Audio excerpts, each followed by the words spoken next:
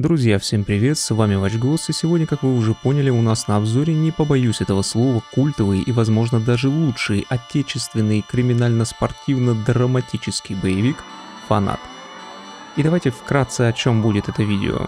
Разбор сюжета фильма, очень подробный разбор главного героя, его становления, метаморфозы, взросления и так далее, со многими тонкостями и нюансами. Некоторые упоминания биографии актеров, сыгравших второстепенные роли, интервью с Борисом Кантемировым, сыгравшим Казбека, и, конечно же... Рекламная пауза. Э, полторы минуты. Так что ни в коем случае не мотайте, чтобы ничего не пропустить, прожимайте лукозавры, усаживайтесь или кому как удобнее и поехали.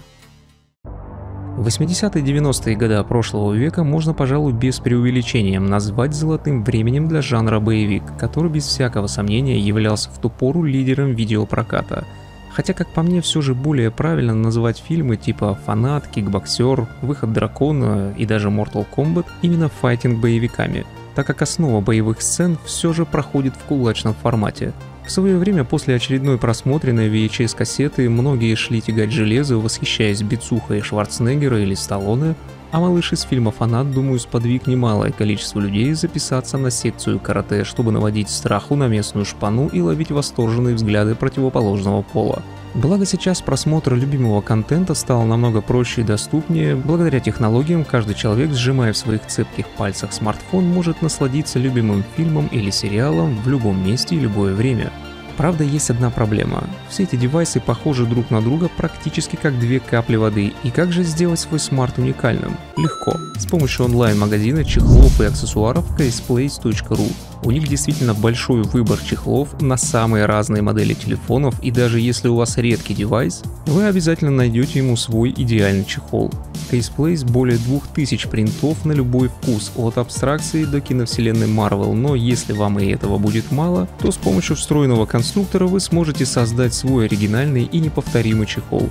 Само собой, что продукцию магазина вам доставят куда угодно, удобным для вас видом доставки и в кратчайшие сроки.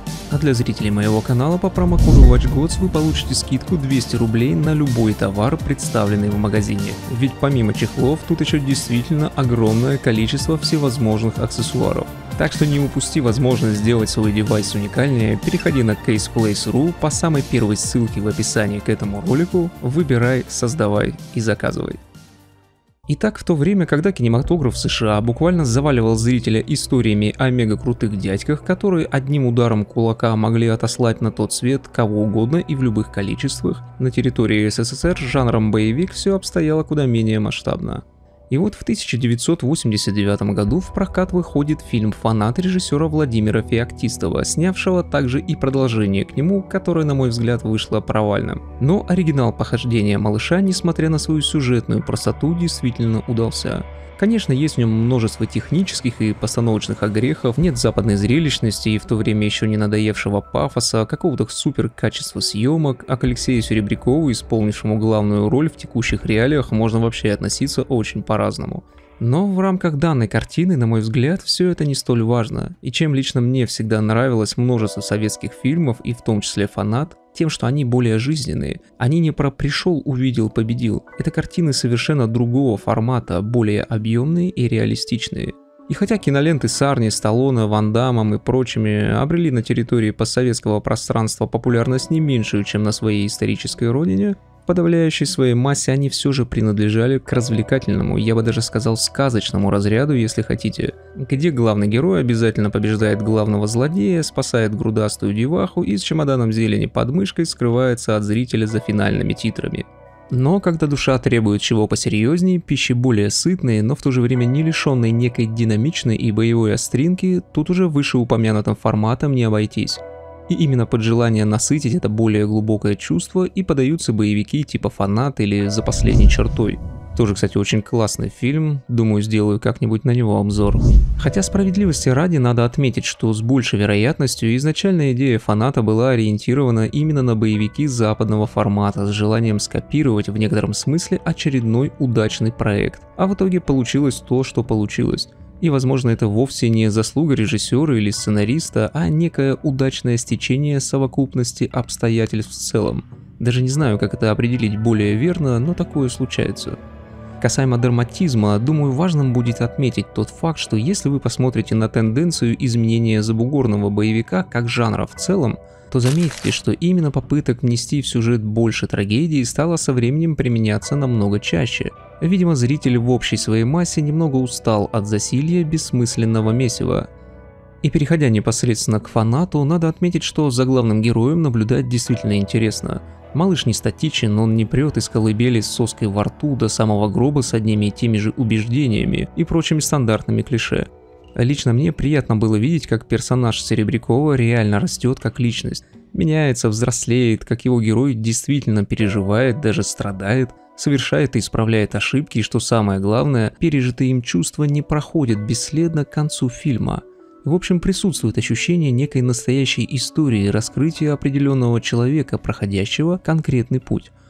А вокруг него проносятся разные по своей фактуре места и события, меняются второстепенные персонажи, которые тоже не просто идут фоном, а оказывают то или иное влияние на него, при этом сами выглядят тоже вполне натурально, а не как какие-то чучелы, набитые ватой. И что особенно приятно, при всем этом фильм идет всего 80 минут – Хотя сюжет фанатов в текущих реалиях можно было смело размазать на 3-4 сезона и иметь при этом огромное количество положительных отзывов. Ну а в итоге такой маленький хронометраж, но при этом действительно большая история, и это заставляет зрителя смотреть его не скучая. Собственно, биография главного героя начинается с того момента, когда мальчик приходит на секцию карате. Далее из сюжета мы узнаем, что он сын парикмахерши, Женщина легкого поведения, отца, вероятно, он никогда не знал, мать его не хотела и даже ненавидит. Все, хватит, натерпелась, убирайся! Убирайся из моего дома! Ты слышишь, убирайся! Видеть тебя больше не могу! И вообще он по жизни брошенный человек и сам это прекрасно понимает. Самое большее, чего ты добьешься, останешься калекой, никому не нужно. А я и так никому не нужен, невелика потеря. Он никому не нужен и по всем канонам реальности должен был прожить вполне себе заурядно. Но режиссер дает нам понять, что у малыша есть внутренний стержень, а потому на обочине жизни он не спешит и, найдя занятия по душе, увлекается им всерьез. Вообще персонаж Серебрякова в чем-то похож на персонажа Бодрова из фильма «Брат». Он вообще-то добрый парень, в чем-то простоват, но не глуп, целеустремленный и не жаден до денег. Но несмотря на вышесказанное, Егор, как и Данила, живет согласно времени и не притворяется рыцарем на белом коне, совершая порой не самые благочестивые поступки – и вот на этом моменте, думаю, стоит развить мысль о том, что же именно сделало малыша таким, каков он есть. раскрыть главного героя более емко, так как мне не хотелось бы просто пересказывать сюжет фильма и выкладывать вам обзор, типа он пошел туда, сделал то, ограничиться зачитыванием какой-нибудь статьи из интернета и все в таком духе. Конечно, сказанное мною далее будет крайне субъективно и, думаю, вовсе не продумалось сценаристом, но я вижу это все примерно так. В детстве главного героя то ощущение как бы общей несправедливости сложившихся к нему обстоятельств, ведь с его так называемой семьей иначе быть просто не могло, подарило Егору чувство обиды, а это чувство и дает в некоторых типах личности основной мотивационный заряд именно с помощью этого глубоко засевшего ощущения, которое в некотором смысле стало одной из основ его характера и нашедшее далее выход в злости, он достигает успеха в занятии карате – Иными словами, мы видим классический тип сублимации. Без злости, которую всегда рождает обида в человеке, невозможно эту самую обиду вывести из себя. А правильнее сказать, забыть о ней хотя бы на короткое время, хотя бы на время поединка избавиться от нее, потому что обида, как и злость, это чувство крайне разъедающее личность, жить с ними невероятно тяжело, и тут же в зависимости от более фундаментальных черт характера люди находят совершенно разные пути выхода. Одни замыкаются в себе, у кого-то напрочь съезжает крыша, а кто-то находит выход в том, что умеет делать лучше всего. То, что в какие-то моменты поглощает его настолько, что он забывает, а значит и освобождается от мыслей и воспоминаний той причины или ряде причин, способствующих формированию этой обиды. И тут уже не важно, машешь ли ты кулаками, решаешь теоремы, пишешь музыку, медитируешь и так далее. Вот мой отец он славно стартовал в том заезде. Сезон подходил к концу. На последнем повороте его пытался пройти Кенни Линдер. Он задел бампер и вогнал отца в стену на скорости 180.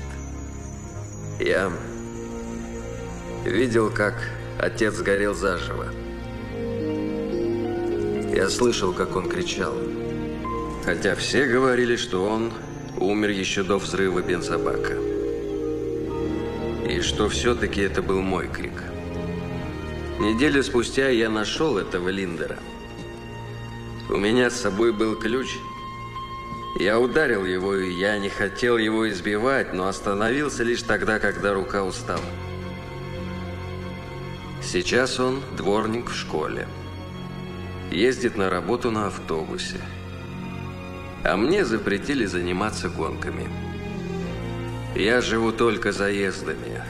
На другое плевать. На кафе, на закладные, на мою команду и прочий бред. 10 секунд, пока мы мчимся, я свободен. И вот уже далее, чтобы избавиться от чувства обиды окончательно, нужно его перерасти, став взрослее и, следовательно, сильнее, ведь в преодолении подобных препятствий заключается путь личности. Но этот путь, как правило, ведет человека дорогой дальнейших страданий, испытаний и, что очень важно, самореализации, потому что несостоявшаяся личность не может быть взрослой, и иногда именно успех в чем-то, достижение значимых и признанных результатов ведет к освобождению от гнетущего чувства – Потому что оно поселяется в человеке, пока он слаб внутренне, но когда он силен, когда он достигнет поставленной планки перед собой и начнет уважать самого себя, обида уходит. Но не потому что достигнута определенная цель, так как достигнутая цель сама по себе не может изменить, скажем, прошлого, если причина обиды находится там, к примеру, смерть близкого человека, а потому что для достижения определенной цели требуется приложение значительных усилий для всей личности в целом – способствующих ее общему росту и в дальнейшем осознание как бы бессмысленности обиды на то, что произошло и изменить невозможно. Но до тех пор, пока личность еще не выросла, именно злость, гнев, как бы внутренний зверь в том типе темперамента, как у Егора, и выступает в некотором роде педалью газа для движения по этому пути. Но в то же время топливом этого зверя выступает сам его носитель, которого он как бы пожирает изнутри – что, покоя не хочется? Покоя? Да, пора уже. Не знаю, что-то там внутри еще есть. Что внутри? Что-то здесь. Давай, давай, говори. Что говорить? Что там у тебя осталось? Только злость? На кого злость? Адриана тебя оставила, и ты злишься. Не оставила, Поле. Умерла.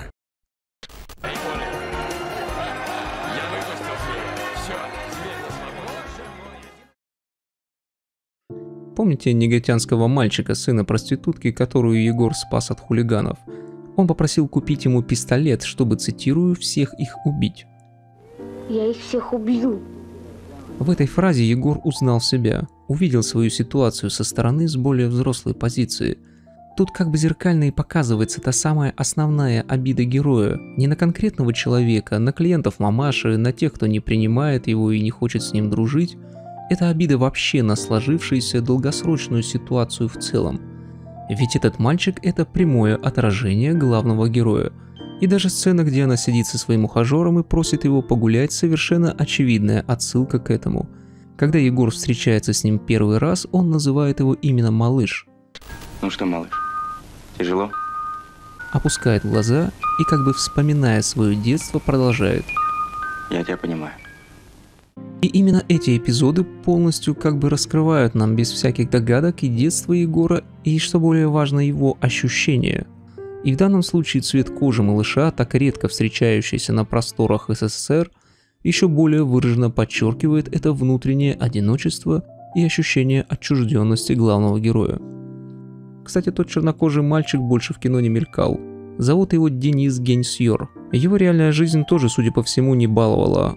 Он воспитанник Одесского детдома, попал в Криворожский военный лицей, потом поступил в Одесский институт сухопутных войск на аэромобильный факультет.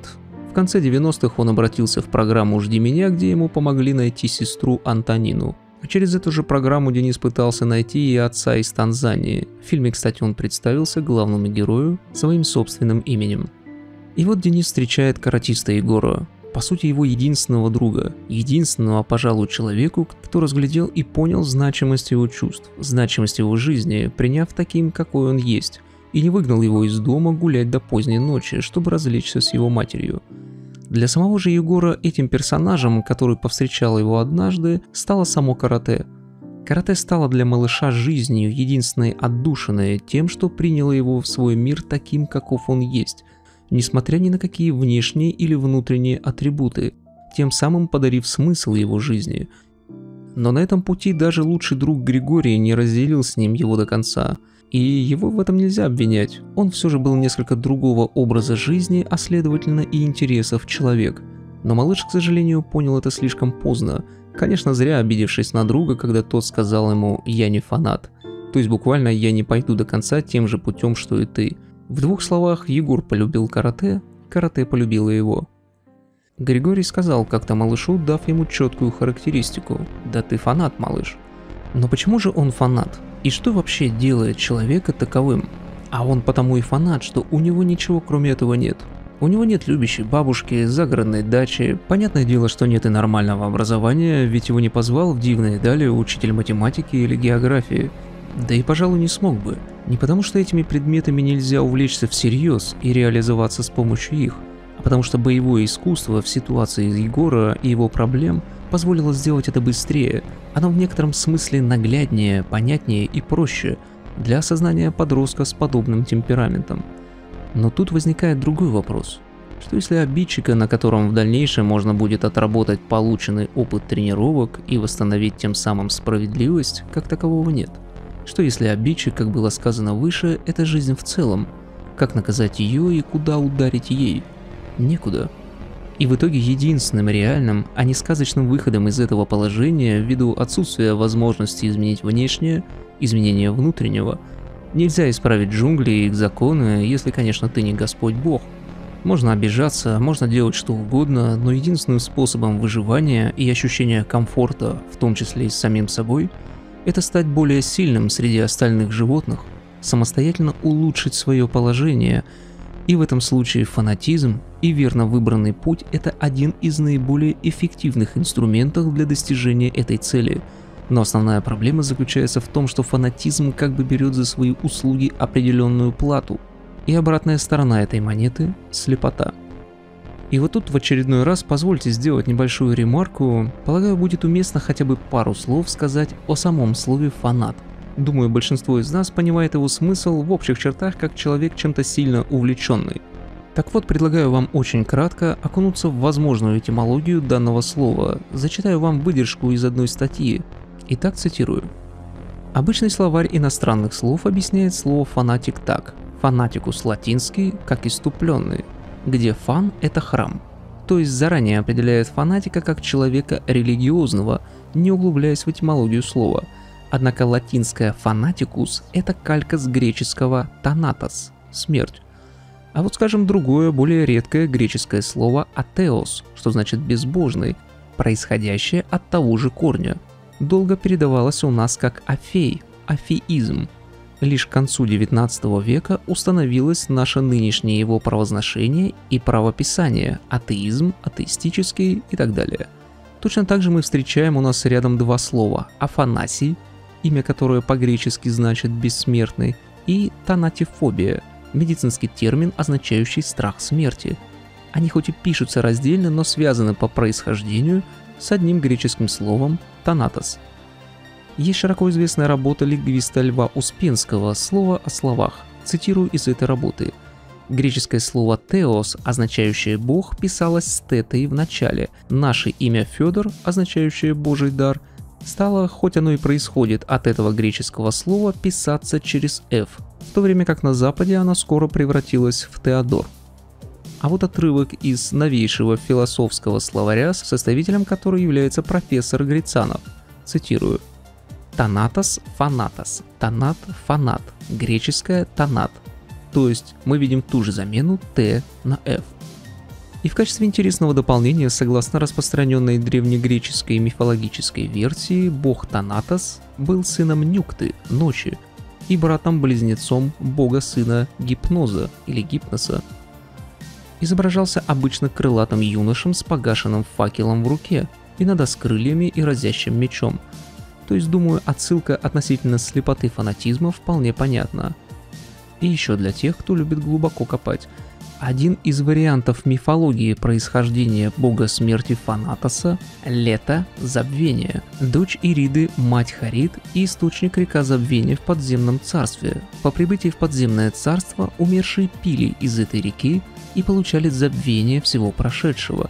Наоборот, те, которые появлялись обратно на землю, должны были еще раз напиться этой воды из подземной реки. Представление об этом возникло уже после Гомера и перешло в народную веру. Река Лета протекает также в стране Йена, который считается братом Лета и Фаната, забвения и смерти. Конец цитаты. Ну и в конце этого отступления поделюсь небольшим наблюдением. На многих языках слово «фанат» переводится как «вентилятор». Какие уж тут делать выводы, думайте сами. Но мы продолжаем.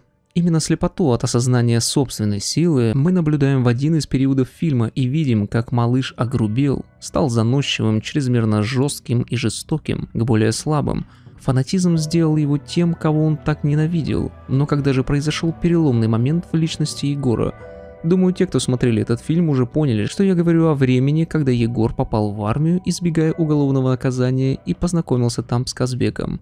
И на этом месте давайте остановимся подробнее. Итак, одним из основных событий, повлиявшего на историю развития личности малыша, сыграла его служба в армии, а именно знакомство со старослужащим Казбеком, благодаря уроку которого он и победил в финальной схватке с вышибалой. Кстати, актера, сыгравшего вышибалу, зовут Тамерлан Азиев, и при весьма массивном телосложении дрался достаточно технично и подвижно. Он не является актером или был актером непрофессиональным и в фильм попал случайно – а в дальнейшем стал работать кузнецом. У Казбека малыш научился драться жестко, по-настоящему. Но тут надо понять, что дело не столько в приеме, сколько и в некотором взрослении, ведь до определенного мастерства и стиля нужно дорасти. А обязательной частью взросления является принятие определенных компромиссов. И в случае с малышом, для того чтобы научиться драться жестко, его моральная подготовка также должна была стать жестче, настоящей и взрослой – ведь чтобы восстановить справедливость, необходимо также понять, что, возможно, некоторые из тех принципов, которые ты раньше придерживался, это не более чем розовые очки, которые необходимо снять и понять, что мир слишком сложен для того, чтобы оставаться в нем жестких в своих наивных убеждениях. Вот такой парадокс. Чтобы стать гибче, в чем-то нужно стать жестче, и наоборот. Однако хочу здесь закрепить ваше внимание на том, что я не говорю про морально положительные убеждения как таковые – я говорю в данном случае о том, что справедливость порой требует наказания и жесткости, прежде всего характера. И поэтому настоящий герой, реальный человек, просто не может быть заложником моральных рамок так называемых белых рыцарей, так как жизнь иногда ставит тебя в ситуации, где какой бы выбор ты ни сделал, он не будет полностью идеальным, однозначно плохим или хорошим. И в этой ситуации я с малышом согласен – ведь говоря в общем смысле, потворствуя несправедливости, ты порождаешь безнаказанность, а безнаказанность провоцирует вседозволенность, которая в свою очередь порождает беззаконие, а уже беззаконие рано или поздно перерастает в хаос. И вот Казбек говорит малышу, восстанови справедливость, потому что один солдат по фамилии Гринько не стал драться с ним один на один, но принял участие, когда били все – кстати, рассматривая поединок малыша и Казбека, думаю, стоит упомянуть, что Алексей Серебряков не занимался боевыми искусствами до съемок в фильме, и, как пишут некоторые источники, не пользовался услугами дублера. Хотя в этой сцене с машиной, на мой взгляд, отчетливо видно, что это был другой человек. Однако он занимался акробатикой, и думаю, это все же помогло ему при съемках. А вот Борис Кантемиров, сыгравший Казбека, в те годы уже тренировал – и даже неопытным взглядом в драке малыша и старослужащего видно, что последний обладает по сравнению с главным героем намного более отточенными движениями. Согласно статье Википедии, Кантемиров в 96 году занял третье место на международном турнире по косики, в переводе «жесткое карате». В 1999 году выиграл в Германии международный турнир Кубок Коно. Извиняюсь, если ударение неправильное. В 2009 году стал заслуженным тренером России по карате. А Олег Кантемиров, сыгравший тренера малыша, также является мастером боевых искусств и Борису Кантемирову приходится родственником. Кстати, по сюжету тренер малыша не выступал на местном тотализаторе, а лишь показывал приемы с оружием, зарабатывая этим себе на хлеб. То есть его показывают как человека, для которого моральные наставления были не просто словами, и пускает он в ход кулаки только чтобы помочь Егору. И судя по всему, кличку малыш дал Егору именно тренер – Это показано в моменте, где он заставил его отжиматься. Эй, ты, как там тебя? Малыш, ну-ка, пошли со мной. Кстати, антагониста малыша, владельца подпольного гладиаторского тотализатора по прозвищу Мэттер, сыграл латвийский актер Мартин Шевилсонс. До фаната он строил БАМ, сыграл в «Интердевочке», «Мираже» и открыл театральную студию в латвийской Лиепае. Был пять раз женат, имеет восьмерых детей.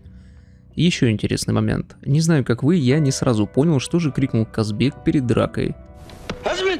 Были некоторые мысли, но когда решил сделать обзор на фильм, блуждая по сети, нашел не один вариант ответа, и дабы не вдаваться в догадки, я решил обратиться к тому, кто, собственно, и сыграл Казбека Борису Кантемирову, который сказал, что это было слово «хаджиме», или его более укороченная версия, а озвучивал старослужащего не сам Борис, а актер дубляжа. И помимо разъяснения этого момента, я также попросил дать комментарий о ситуации, почему же в Союзе на время с 1981 по 86 запретили карате. Этот момент также присутствует в фильме, когда малыш однажды пришел в зал, а секция закрыта и тренер уезжает. В интернете также много всевозможных мыслей на эту тему, но я подумал, почему бы не поинтересоваться об этом у того, кто был непосредственным очевидцем этих событий и того времени, к тому же связанным с карате непосредственно – Мысли Бориса Кантемирова на этот счет я вам сейчас и предлагаю прослушать, а от себя хочу выразить ему отдельную благодарность за отклик и предоставленную информацию. Ну, причин э, несколько, я думаю, и одна из главных причин идеологическая. Дело в том, что э, Федерация карате и Штурмин, который ее возглавлял, они получили такую популярность, что это было, обгоняло комсомол и все прочее. То есть возникало такое э, новое течение, и это не просто там какое-то там политическое течение, да, это течение состояло из крепких молодых ребят, у которых была четко выстроена иерархия. То есть могла получиться, мне кажется, на мой взгляд, мне это тогда было что, 17-18 лет, когда все это произошло, закрытие я имею в виду. Но мне кажется, что произошла вот такая вот э, остановка вот этого движения неконтролируемого. И на это же наложилась еще одна ситуация, значит, я не помню фамилию, но сына одного из членов политбюро в какой-то драке кто-то ударил ногой и убил его. И вот э, говорят, что он тоже сильно постарался, чтобы закрыть это карате. Ну, а в основном это было вот так, потому что вот э, штурмина, там, всех, которых посадили там потом по статьям якобы распространения порнографии и прочее, ну, это бред. Человек, который хотя бы раз общался со штурмином, понимает, что эти вещи никак не совместимы. Просто надо было что-то придумать, и это что-то придумали и раскидали. Оставили это только там в ФСБ, в Динамо, ну, в КГБ тогда, а все остальное убрали. Я думаю, вот это основная причина была, и она была бредовая. Как потом практика показала, в 90-е годы э, среди рекетиров э, спортсмены были боксеры, борцы, хоккеисты даже, да, но меньше всего там светились каратисты. И я думаю, что это, конечно, был несправедливый шаг по отношению к карате. И то, что мы потом так долго буксовали и так долго выходили на международный уровень, в этом как раз-таки вот эту злую шутку сыграл вот этот запрет. Ну, вот такие вот дела. Вряд ли что-то, какая-то другая причина еще могла быть. Я еще раз говорю, самая главная причина возникло молодежное движение не под крылом коммунистической партии. Что же, возвращаясь к сюжету, можно сказать, что именно жестокость стала главной причиной смерти Гриши, а не только травма печени, полученная его другом по прозвищу Гринга от спарринга с вышибалой – и Егор понял это. Понял, что не будь в нем той гордыни и заносчивости, которые сила и жестокость порождают в человеке, не случилось бы его чрезмерного жесткого спарринга с другом. Ведь он состоялся потому, что малыш слишком сильно и без явной необходимости избил того парня-крокодила, а его друг Гриша, справедливо указав ему на это, сравнил его со зверем.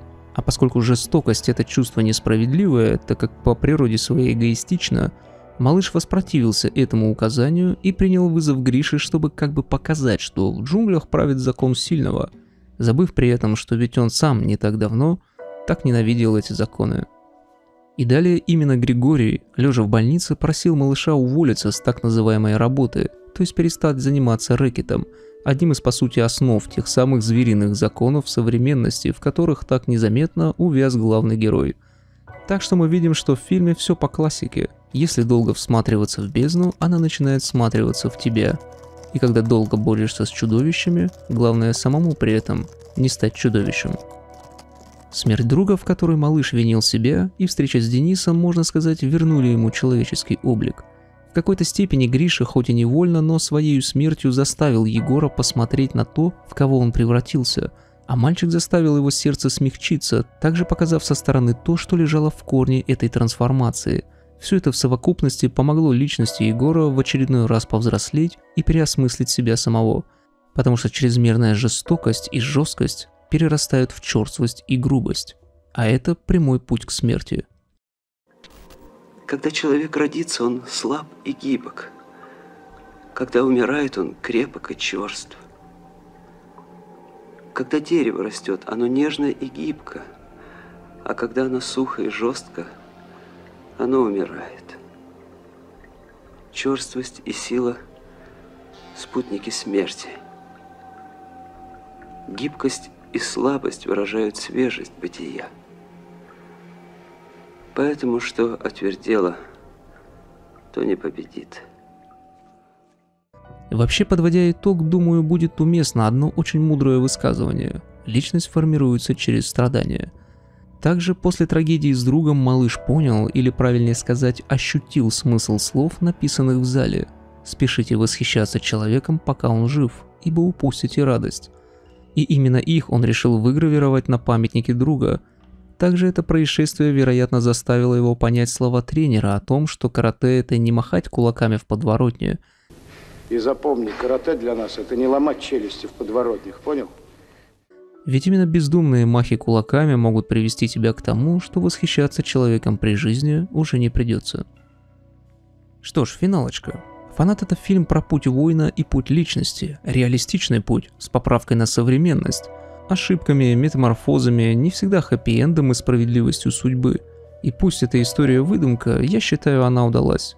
Сейчас, конечно, есть множество фильмов с более крутыми постановками, ведь будем откровенны, бои в фанате иногда смотрятся далеко не на высшем уровне, операторская работа в них тоже оставляет порой желать лучшего. Также в современном синема хватает фильмов с более сложными сюжетами и более длинным хронометражом.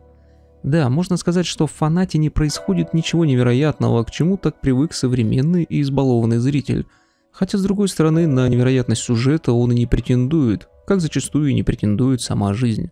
Но по какой-то причине те тысячи на первый взгляд более качественных фильмов не западают особо в память и не вызывают желания пересмотреть их – Потому что настоящее кино – это искусство, а не зрелище или развлечение. А искусство – это то, что наталкивает человека на осмысление действительности, процесс и итог выражения внутреннего и внешнего. Желаю вам развиваться на своем пути или найти его, если он еще не найден. С вами был Watch Gods. Жду ваших лайков этому ролику и комментариев под ним – также буду рад желающим поддержать творчество монеты, подпиской на Патреоне, спонсорством на Ютубе или другим способом. Все ссылки, как всегда, в описании. Тем же, кто уже это сделал, друзья, вам, как всегда, от меня отдельная благодарность. Подписывайтесь на канал и, надеюсь, до новых встреч. Всем удачи!